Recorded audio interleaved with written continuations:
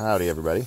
We're out here on Trooper. This is a, a horse in for training. That's my son, Cody. It's another horse he's training.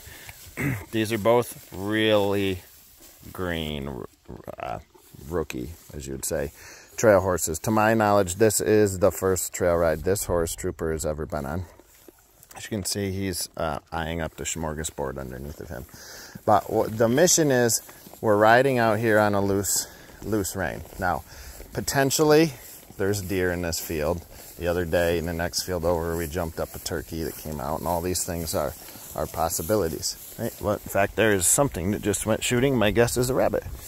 I don't think Trooper saw it. But at any rate, um, if at any point in time my horse starts to get anxious and nervous, we are going to use a one rein circling technique. Okay, now we've taught this to him at home and in the arena. Now this is how we would enact it. So if you make believe here, we'll slide our hand down and I'm to ask this horse to bend and flex around my leg and my hand. Now, obviously this is a controlled situation. There's nothing scaring him. But I would do the same thing even if he wasn't scared if he just started getting anxious, right? So I am riding with the loose rein, looped rein down there, and I'm asking him to just control his thoughts and emotions. If he gets anxious, if he gets tight, we're going to do the same thing. We could alternate flexing left and right, doesn't really matter, but I'm asking him to just control his emotions. So more than likely, it's right before dark here. You guys can kind of see out here. Sun is over the ridge more than likely we're going to see deer. In fact, we already have seen one. More than likely we're going to see other stimulus. In fact, the dogs are out riding with us somewhere out here in the brush. There's one over there. And they're going to see all that movement. But this is important to get horses to really learn to manage their emotions. If we don't ever ask anything from our horse, we can't be surprised when we get it. Right? So I've got to ask Trooper, hey, it's time to be a big boy now it's time to start putting those things that you have learned into play. So you see Cody is doing that with the mare he's riding. She got a little excited, so he's teaching her to think. There's Trooper a little bit.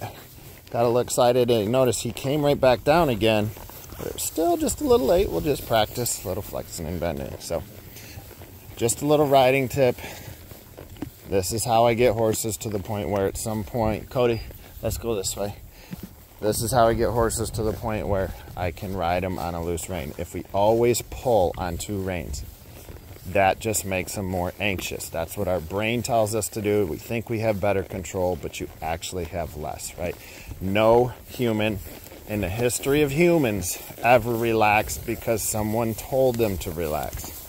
And it's the same thought with horses. If you just pull on two reins, it's like you're telling that horse to relax. It never works with humans, it doesn't work with horses. So, one rein gives it anxiety somewhere to go. Pulling on two reins just feeds it and makes it worse, right? That is the monster we do not want to feed. We want to starve that monster. See, there's even a deer bed. So that's a tip for today. Give that anxiety somewhere to go. Ride them on those loose reins. Teach them that they can think on their own. The more we clamp down, the more we'll make it worse. So, thanks for coming along on our ride. Until next time, ride that next stride. Make it a great day. See you down the trail.